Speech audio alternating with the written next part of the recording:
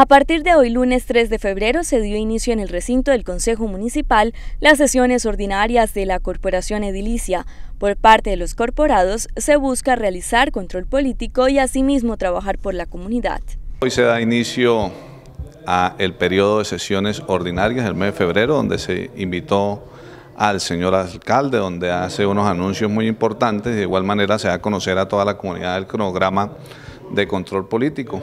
Bienvenido el debate a la corporación, bienvenido eh, a que la comunidad ocañera eh, tiene las puertas abiertas para que pueda opinar y dar a conocer posturas el desarrollo del municipio. Hoy le hemos hecho la invitación formalmente al alcalde a que trabajemos en equipo en la construcción de ese plan de desarrollo, siguiendo una hoja de ruta importante para que sea realizable en los cuatro años que se viene en el desarrollo de este periodo de gobierno. Las garantías están, lo que pasa es que la dinámica política obedece a que hay unas mayorías y unas minorías. Y hoy, por segunda vez, eh, en el Consejo Municipal se marca una independencia y una coalición de Consejo Municipal. En el recinto hicieron presencia los 15 concejales, representantes de la comunidad y el alcalde municipal Samir Casadiegos.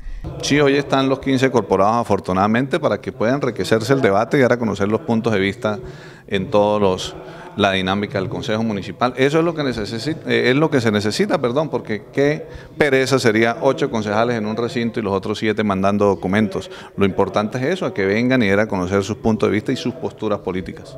El objetivo central para las sesiones a desarrollar los próximos días es tener el control político con los diferentes secretarios. Hasta el momento no ha llegado ningún proyecto de acuerdo. Lo que hemos solicitado respetuosamente es que vengan los secretarios primero para conocer a algunos secretarios que a la fecha no los conocemos y hay que hacerlo en conocimiento en el recinto donde es el sitio idóneo para lo mismo.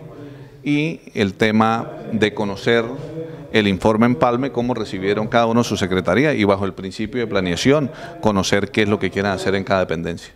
Por lo tanto, hasta el día 15 de febrero se tendrán estos controles políticos en donde la comunidad ocañera también está invitada para ser partícipe de estos encuentros en el Consejo Municipal.